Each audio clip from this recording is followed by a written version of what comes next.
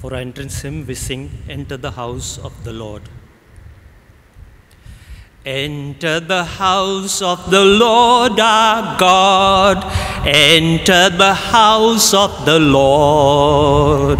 Sing of our God who reigns above. Sing of his everlasting love. Sing of his goodness all our days. Come be of one accord. Lift up your voices, sing his praise as we enter the house of the Lord.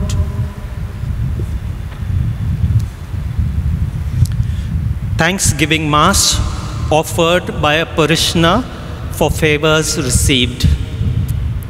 For the intentions of the Phillips family and those who recovered from COVID. Seventh day Mass for Dr. Marionette Pereira. Month's Mind Mass for Sonia Robert Vardhan. First death anniversary of Vilma Cardos. For the souls of Basil Mervyn Gomez, Asis Leos Cotino, Joe Dias, Derek Vaz, Teresa D'Souza, Alfred and Sarah Fernandez, Brother Majella, Matilda Lobo, Varuni and Rosa Vendokaran, Sister Mary Agnes, Lino Pimenta, Father Tony Cardoso, Francis D'Souza and departed members of his family, O'Neill De Costa, Manuel Ferns, Redus Pereira, Rahul Brito, Sonia D'Cunha, R.K. Swami, Julie D'Souza, Edwin Fernandez, Romaldina Pinto, Teresiama Thomas, Dominic and Evelyn D'Souza, and for the souls in purgatory. In the name of the Father, and of the Son, and of the Holy Spirit, Amen. the grace of our Lord Jesus Christ, and the love of God, and the communion of the Holy Spirit be with you all. And with your spirit, Dear brethren, let's acknowledge our sins and prepare ourselves to celebrate these sacred mysteries. I confess to, To Almighty Almighty God, and, to you, my brothers and sisters, that I have greatly sinned in my thoughts and in my words, in what I have done and in what I have failed to do, through my fault, through my fault, through my most grievous fault. Therefore, I ask Blessed Mary, a Virgin, all the angels and saints, and you, my brothers and sisters, to pray for me to the Lord our God. May Almighty God have mercy on us, forgive us our sins, and bring us to everlasting life. Amen. Lord, have mercy. Lord, have mercy. Christ, have mercy. Christ, have mercy. Lord, have mercy. Lord, have mercy. Let us pray. O God, strength of those who hope in you, graciously hear our pleas, and since without you mortal frailty can do nothing, grant us always the help of your grace, that in following your commands we may please you by our resolve and our deeds. Through our Lord Jesus Christ, your Son, who lives and reigns with you in the unity of the Holy Spirit, one God forever and ever. Amen.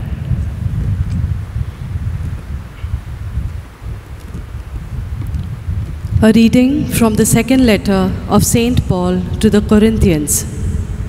Brethren, I wish you would bear with me in a little foolishness. Do bear with me, for I feel a divine jealousy for you, since I betrothed you to one husband, to present you as a pure virgin to Christ. But I am afraid that as the serpent deceived Eve by his cunning, your thoughts will be led astray from a sincere and pure devotion to Christ. For if someone comes and proclaims another Jesus than the one we proclaimed, or if you receive a different spirit from the one you received, or if you accept a different gospel from the one you accepted, you put up with it readily enough. Indeed, I consider that I am not in the least inferior to these super apostles. Even if I am unskilled in speaking, I am not so in knowledge. Indeed, in every way, we have made this plain to you in all things.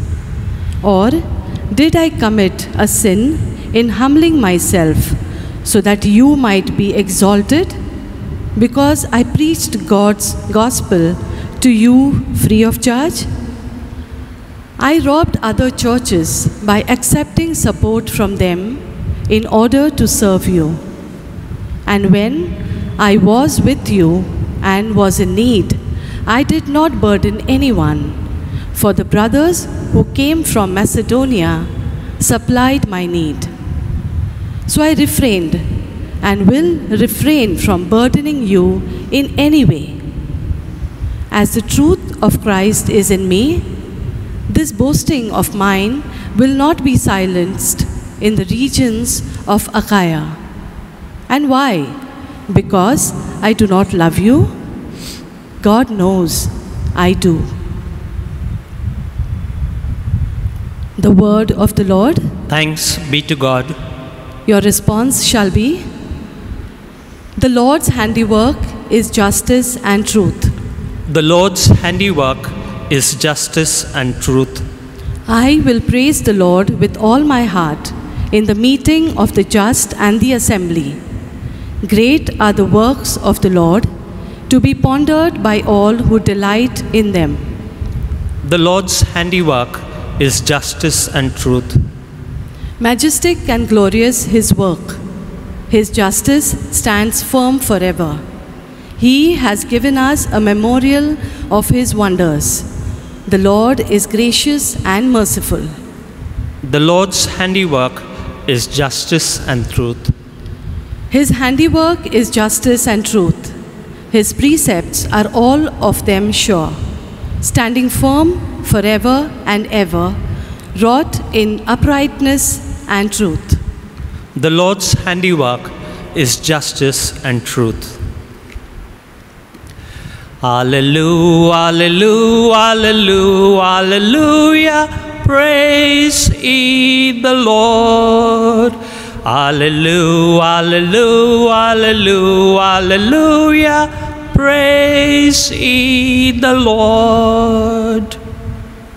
You have received the spirit of adoption as sons, by whom we cry, Abba, Father. Praise ye the Lord, hallelujah. Praise ye the Lord, hallelujah. Praise ye the Lord, hallelujah. Praise ye the Lord. The Lord be with you. And with your spirit, A reading from the Holy Gospel according to Matthew. all glory be to thee, O Lord. At that time, Jesus said to his disciples, When you pray, do not heap up empty phrases as the Gentiles do, for they think that they will be heard for their many words. Do not be like them, for your Father knows what you need before you ask Him. Pray then like this Our Father in heaven, hallowed be your name. Your kingdom come, your will be done on earth as it is in heaven. Give us this day our daily bread, and forgive us our debts, as we also have forgiven our debtors. And lead us not into temptation, but deliver us from evil. For if you forgive others their trespasses, your heavenly Father will also forgive you. But if you do not forgive others their trespasses, neither will your Father forgive you your trespasses. The Gospel of the Lord. Praise to you, Lord Jesus Christ. Dear brothers and sisters in Jesus Christ, these days we have been hearing from the Gospel of Matthew, from the Sermon of, on the Mount from Jesus, where he speaks about different aspects of life. A disciple is supposed to follow as he follows the, his master Jesus. And we see Jesus had spoken yesterday in yesterday's Gospel about the three important virtues or important parts of Jewish spirituality, which was prayer, fasting, and almsgiving, and how one should practice these virtues in one's daily life. And today we Jesus goes further, and we have the continuation of yesterday's gospel. After asking the disciples to pray, now Jesus is teaching them how to pray. First, Jesus begins with giving them a warning what they are not supposed to do. They are not to heap up empty words like the Gentiles.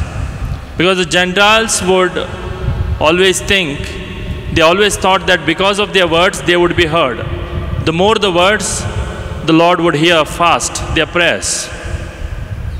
Jesus tells his disciples, do not heap up empty or meaningless words. It is not the words that matter, but it, it is your attitude and your disposition. Because the Father already knows what you need even before you ask Him. So, why then do we have to pray? It is because to show our humility before God, to say that we are dependent on God and that we need His grace and mercy in our everyday lives. And that is the reason we humble ourselves and come into His presence and present Him all our petitions, needs, and thanksgivings. And then Jesus begins the prayer, the Our Father. The Our Father is more of a challenge to be lived in our everyday lives. It is not just a vocal formula to be recited every day, but it is a way of life that Jesus offers us. There are two parts in it. First one, praises and thanks God for the, all that He is. And then second is where we present our needs to Him. As I say, every statement in the prayer, the Our Father, is a challenge for us to live. Let's take an example. We call God as our Father. We don't say my Father. And our Father means that we value equality among all the people. We say that everyone is my brother and sister. So if we are differentiating between people, if we are biased among the people based on their color, creed, religion, or any other matter, then we are going against the first statement that we are making from the prayer, the Our Father. Also, the other parts of the prayer of Our Father is a challenge for us to live every day what we pray. Because our society in which we live, most of the values are contradictory to the prayer of Our Father. It's very difficult for us to forgive. It's very difficult for us to make sure that the kingdom of God or the will of God takes place in this earth. But if, as true disciples of Christ, we are praying this prayer of our Father, let us ask His grace today to live it in our daily lives. Not only heaping up empty words, but doing it in action what we pray. Let's pray for that grace during this Eucharist. Amen.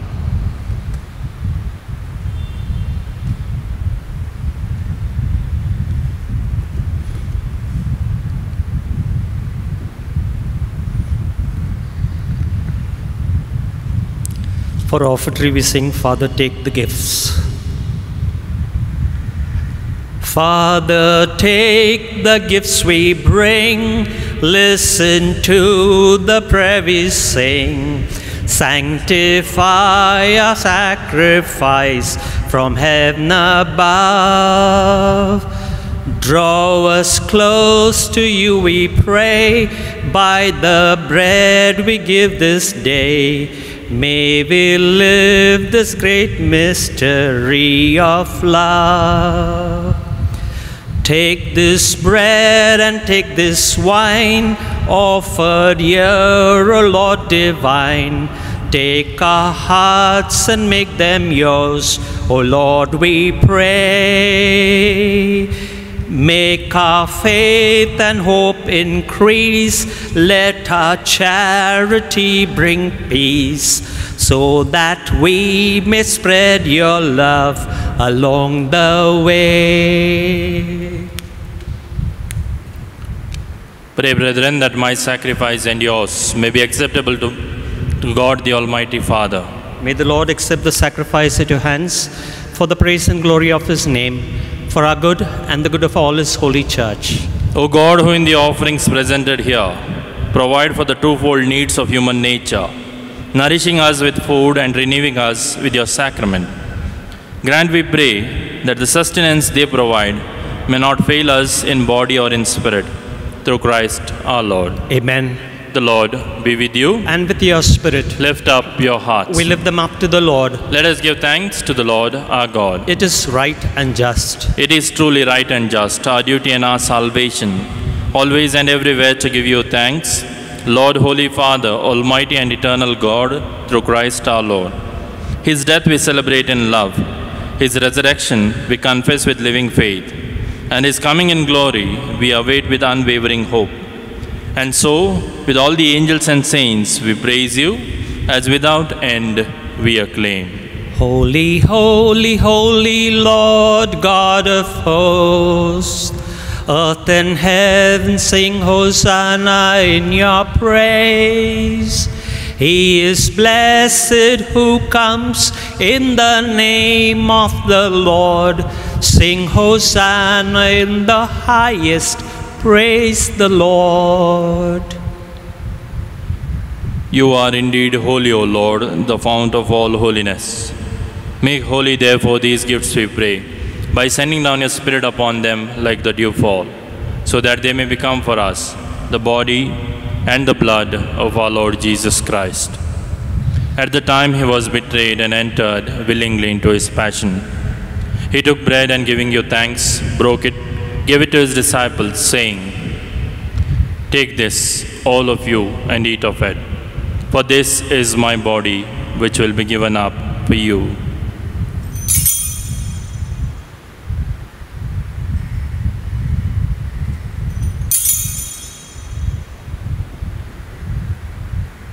In a similar way, when supper was ended, he took the chalice and once more giving thanks, he gave it to his disciples, saying, Take this, all of you, and drink from it, for this is the chalice of my blood, the blood of the new and eternal covenant, which will be poured out for you and for many for the forgiveness of sins. Do this in memory of me.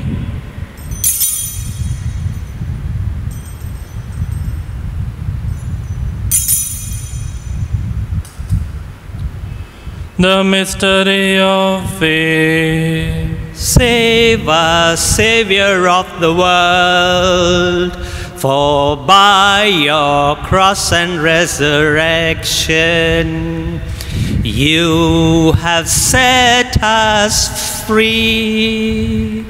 Therefore, as we celebrate the memorial of his death and resurrection, we offer you, Lord, the bread of life and the chalice of salvation, giving thanks that you have held us worthy to be in your presence and minister to you. Humbly we pray that partaking of the body and blood of Christ, we may be gathered into one by the Holy Spirit. Remember, Lord, your church spread throughout the world and bring her to the fullness of charity, together with Francis our Pope and Oswald our Bishop and all the clergy. Remember also our brothers and sisters who have fallen asleep in the hope of the resurrection, and all who have died in your mercy. Welcome them into the light of your face.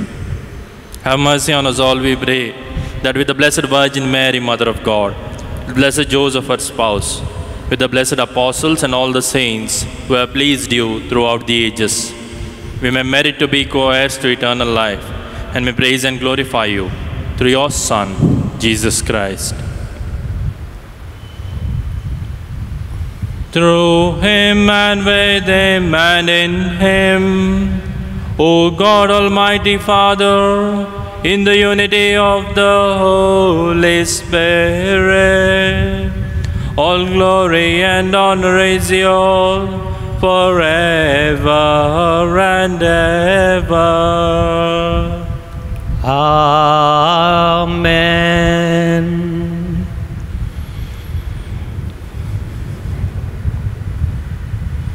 At the Saviour's command and formed by divine teaching, we dare to say, Our Father, who art in heaven, hallowed be thy name. Thy kingdom come, thy will be done, on earth as it is in heaven. Give us this day our daily bread, and forgive us our trespasses, as we forgive those who trespass against us. And lead us not into temptation, but deliver us from evil. Deliver us, Lord, we pray, from every evil. Graciously grant peace in our days, that by the help of your mercy, we may be always free from sin and safe from all distress. As you await the blessed hope and the coming of our Savior, Jesus Christ. For the kingdom, the power, and the glory are yours, now and forever. Lord Jesus Christ, to set your apostles, peace I leave you, my peace I give you. Look not on our sins, but on the faith of your church, and graciously grant her peace and unity in accordance with your will, who live and reign forever and ever. Amen. The peace of the Lord be with you always. And with your spirit. Let us offer each other the sign of peace.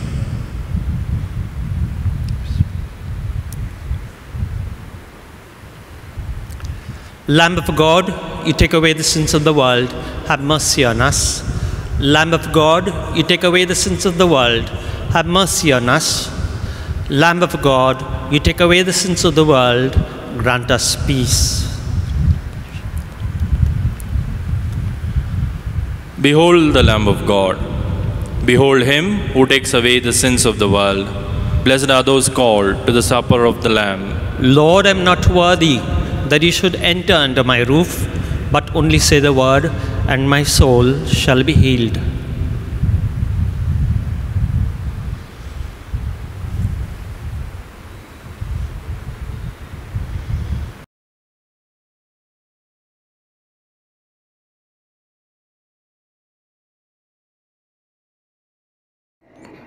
Spiritual Communion Prayer My Jesus, I believe that you are present in the most holy sacrament. I love you above all things and I desire to receive you into my soul. Since I cannot at this moment receive you sacramentally, come at least spiritually into my heart. I embrace you as if you were already there and unite myself wholly to you. Never permit me to be separated from you. Amen.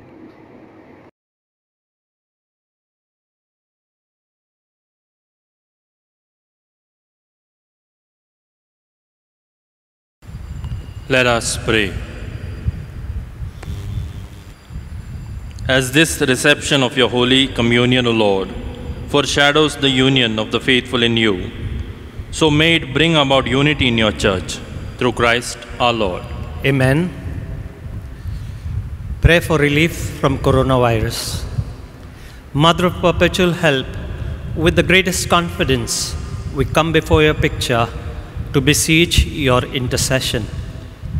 We think of you, Mother, at the foot of the cross. Your heart must have bled to see your son in agony. But your joy was great when he rose from the dead, victorious over the powers of evil. Mother of sorrows, pray for us in this time of trial. Help us not to lose heart. Intercede for your people who are afflicted with coronavirus. Comfort your people who are vulnerable and anxious. Protect healthcare workers who put their lives at risk. Inspire our leaders to make good decisions. Change our hearts so that we may act responsibly. Teach us to trust in God's love and mercy and to share with you the joy of having courageously faced up to all the challenges of life. Amen. Mother of perpetual help, Pray, pray for, us. The Lord be with you. and with your spirit. May Almighty God bless you, the Father, and the Son, and the Holy Spirit. Amen. Go in peace, glorifying the Lord by your life. Thanks be to God. For our recessional hymn, we sing, We Stand for God. We stand for God and for his glory, the Lord supreme and God of all. Against his foes, we raise the standard. Around the cross, we hear his call. Strengthen our faith, Redeemer. Guard us when danger is nigh. To thee we pledge our lives and service, strong in our trust that ne'er shall die. To thee we pledge our lives and service, strong in our trust that ne'er shall die.